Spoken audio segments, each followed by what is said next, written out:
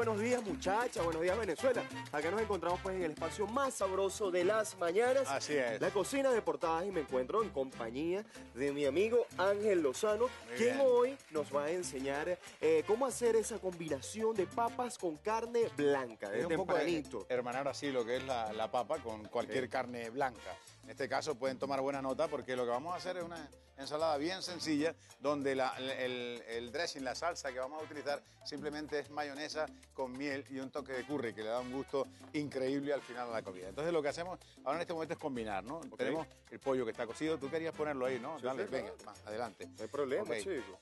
¿Lo ponemos todo? Sí, ponlo Ya las medidas están hechas ya entonces. Sí, están todas. Ok, tenemos el pollo cocinado, sim- simplemente hacemos una especie de consomé y, y lo que hacemos es eh, darle un poquito de sabor y después cortarlo en cuadritos el pollo, ¿verdad? Entonces lo que tenemos es calabacín, por ejemplo, un poquito de mango.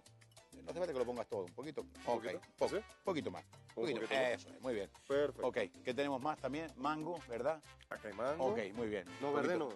El mango que sea un poquito pintón, lo cortan en cuadritos. Ustedes van viendo los, los ingredientes en pantalla que tenemos para que ustedes vayan tomando buena nota. Ok, tenemos zanahoria, zanahoria, co- fácil, Ángel. zanahoria cocida también, ¿verdad?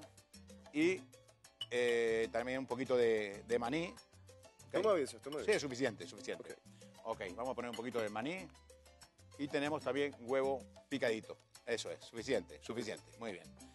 Un poquito más porque me gusta Ok, más. tenemos huevo cocido allá que está eh, picado en cuadritos. Fíjense que bien sencillo, lo que hacemos primero es combinar esos, estos ingredientes. Ahora lo que tenemos es la, la estrella, que es la que, la que va a ser la mezcla de las carnes blancas con la papa, que puede ser en un guiso, puede ser en una ensalada, en cualquiera de las formas. Tenemos papitas y lo que hacemos es simplemente mezclarlo todo, cocinado, ¿verdad? Toda. Sí, no, bueno, vamos a poner una parte importante, como es la papa, que es un poco la reina en esta semana, un poquito más. Sí, no, y Bueno, un si no poquito se más. bota porque Sí. está bien lleno. Muy bien. Entonces lo que hacemos, ya tenemos aquí la- la- lo que va a ser la, la mezcla, ¿verdad? Y después, a- aparte, lo que vamos a hacer aquí en este bol, por ejemplo, eh, es combinar la mayonesa con la miel y el curry. Eso les va a dar esa salsa que le va a dar un sabor, bueno, delicioso. Mayonesa. Eso es. Vamos a ponerle la miel. Tú mismo la vas a hacer, venga. Dale, pues. Vamos a ver si Mientras, paso la prueba un poquito, de, un poquito de soya que le voy a poner aquí, que me gusta darle un toquecito Vamos de soya a- a, la A ver ensalada. si pasamos la prueba todo. Por la- por- no, si quiere ahí mismo, la puede hacer ahí mismo, no hace falta que la saque. Ok, perfecto. Eso es.